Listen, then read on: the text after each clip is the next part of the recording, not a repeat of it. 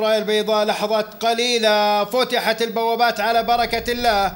لاندفاع جياد وأفراس الإنتاج عمر الثلاث سنوات بمختلف درجاتها متنافسة في هذا الشوط على مسافة ال 2000 متر. متابعين الكرام اذا هذا الشوط خصص للجياد التي لم تكسب. ستأخذ دورة كاملة حول المضمار. يتقدم الآن يحكم إلى جانب ابن عادل دحيم في محاذاتها في المركز الأول لقيادة هذا الشوط. شوط الميل وربع الميل. يتقدم حيم اذا ابن عادل للمركز الأول في متابعة أيضا من مدلعه في المركز الثاني فيما يحكم في المركز الثالث وأيضا موسوم في المركز الرابع ويأتي متاع في المركز الخامس في متابعة من بقية الأسماء. ادحيم اذا يتقدم بخطى متميزة ما شاء الله تبارك الله مع انطلاقة هذا الشوط وهو آخر الأسماء الداخلة لجهاز الانطلاق. يتقدم يحكم الآن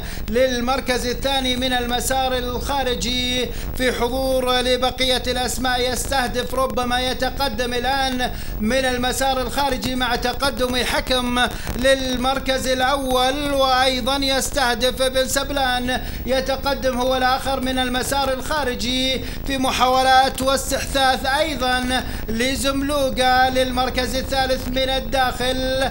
في حضور أيضا لبقية الأسماء أدمون يأتي للمركز الرابع. يعود مجددا يحكم للمركز الأول في تبادل المراكز ما بين حكم ويستهدف يحكم هل يتحكم يتحكم في مجريات ال 400 متر الأخيرة والخط المستقيم. الحكم يتقدم ابن تنتربول للمركز الأول من الداخل فيما يستهدف يحاول أن يستعيد الصدارة مجددا من المسار الخارجي في محاولاته أيضا مع زملوقة يحكم من المسار الداخلي يستهدف ابن سبلان على ما يبدو يستهدف المركز الأول ويستهدف الوصول إلى خط النهاية أولا. يستهدف ابن سبلان إذا بالفعل يستهدف خط نهاية وينهي هذا الشوط بتسجيل الانتصار الأول في سجله السباقي هذا الحصان الأشقر.